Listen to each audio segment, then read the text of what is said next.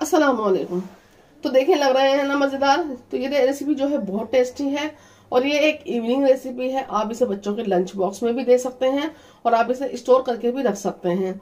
तो आप जब चाहें, इसे फ्राई भी करके बच्चों को दे सकते हैं और ये बहुत ही टेस्टी है और बनाने में बेहद आसान है।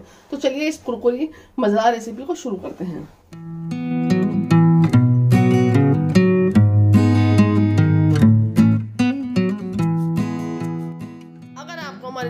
अच्छी लगती है तो सब्सक्राइब करें, घंटी के बटन को दबाएँ, ताकि आप हमारी रेसिपीज़ मिस ना कर पाए।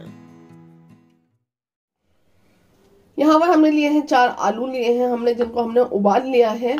तो आलू जो है, हम इसको पहले हम ग्रेट कर लेंगे। साथ ही आपको एक टिप देते हैं हम, कि यहाँ पर आपको जो है आलू उबाल कर फ्रिज में रख दें, इसको ठंडा होने दें करीब आधा घंटे के लिए, जिससे आलू बाइट बहुत अच्छे बनेंगे। आलू ग्रेड करने के बाद इसमें डाल देंगे मीडियम साइज़ का प्याज, जो हमने बारीक चॉप किया हुआ है। दो से तीन टेबल स्पून हरा धनिया। हाफ़ टी स्पून डाल देंगे इसमें गरम मसाला। हाफ़ टी स्पून काली मिर्च पाउडर।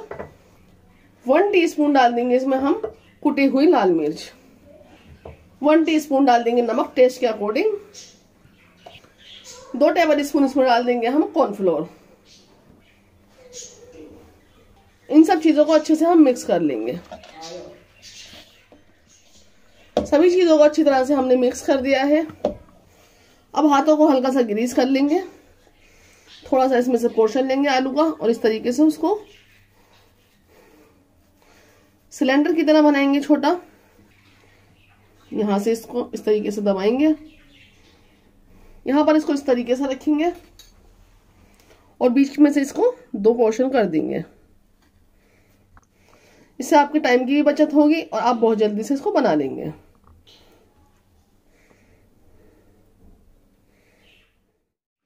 तो देखिए, यहाँ पर आलू बाइट बनकर बिल्कुल तैयार हैं। तो अब चलिए इसको कोट करते हैं। चार आलू में आपने देखा कि यहाँ पर कितनी सारे बाइट्स बनकर तैयार हैं। तो आप ज़्यादा भी बनाकर स्टोर कर सकते हैं। अब यहाँ पर लेंगे हम एक बाउल।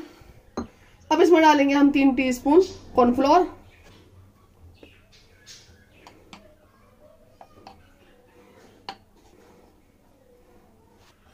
इसको हम घोल लेंगे। थोड़ा सा इसमें पानी डालेंगे।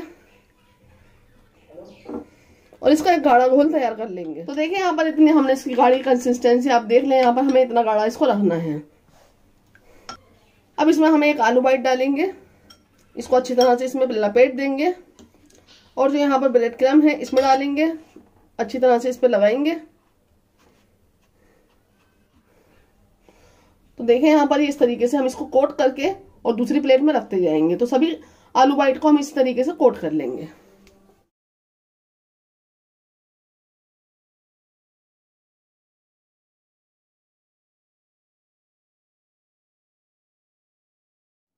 यहाँ पर हमने सभी आलू बाइट को हमने कोट कर लिया है और अब इसको हम रख देंगे दस मिनट के लिए फ्रिज के अंदर। फ्रिज के अंदर रखना है फ्रीजर के अंदर नहीं रखना है। तो इसे रख देंगे, उसके बाद हम इसको फ्राई करेंगे। और साथ ही हम आपको बता दें कि आप इसे अगर स्टोर करके रखना चाहते हैं तो आप इसे फ्रीजर के अंदर रख दें दो घंटे के लिए इस तरीके से और उसके बाद जब ये टाइट हो जाए तो आप इसको जो है एयर टाइट कंटेनर के अंदर रख दें और जब आपको मन करे आप इसे फ्राई करके खा सकते हैं या बच्चों के लंच बॉक्स में भी दे सकते हैं। तो 10 मिनट यहाँ पर हमने इसको फ्रिज के अंदर रख दिया था अब इसको हम फ्राई करेंगे। गैस के ऊपर हमने तेल रखा है जो कि हमने मीडियम फ्लेम पर रखा है तो हम इसे यहाँ पर मीडियम फ्लेम पर फ्राई करेंगे। एक एक करके आलू बाइट इसमें हम डालते रहेंगे।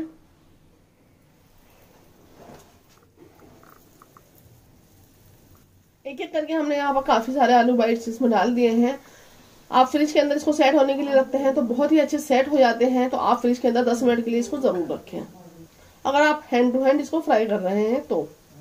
कुछ देर बाद इन्हें पलटना शुरू कर देंगे हम। हल्का कलर चेंज होने लगा है।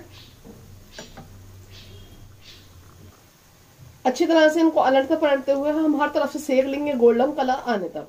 तो देखें, यहाँ पर आलू वाइट हमारे अच्छी तरह से सीख चुके हैं और बहुत ही बढ़िया सा इन पर कलर भी आ चुका है। और कितने क्रिस्पी है बने हैं।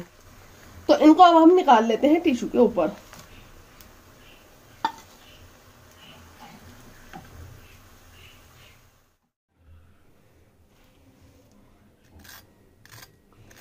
तो सुना आपने कि इसका कितनी क्रिस्पी है ये आलू बाइट हमारा कितना क्रिस्पी बनकर तैयार हुआ है। तो बहुत ही टेस्टी ये बने हैं। और बहुत ही ज़्यादा क्रंची भी बने हैं। और आप इसे लंच बॉक्स में भी दे सकते हैं, बच्चों को। शाम को भी बना सकते हैं चाय के साथ। और जब आपका दिल करे, आप स्टोर भी कर सकते हैं। जब आपका दिल करे फिर इसको फ्राई भी कर सकते हैं। तो बहुत ही टेस्ट लगने वाली, बहुत मज़ेदार रेसिपी है ये। तो ज़रूर ट्राई करें और आपको ये रेसिपी कैसी लगी हमें ज़रूर बताएँ। देखें, अंदर से भी कितनी टेस्टी लग रही है देखने में। तो आपको ये रेसिपी कैसी लगी हमें ज़रूर बताएँ। अपने कमेंट्स के ज़रिए हमें आपके फीडबैक का बेहद और बेसब्री से इंतज़ार रहता है। तो अपनी दुआओं में हमेशा याद रखें, हमसे इसी तरीके से जुड़े रहें। अल्लाह हाफिज़।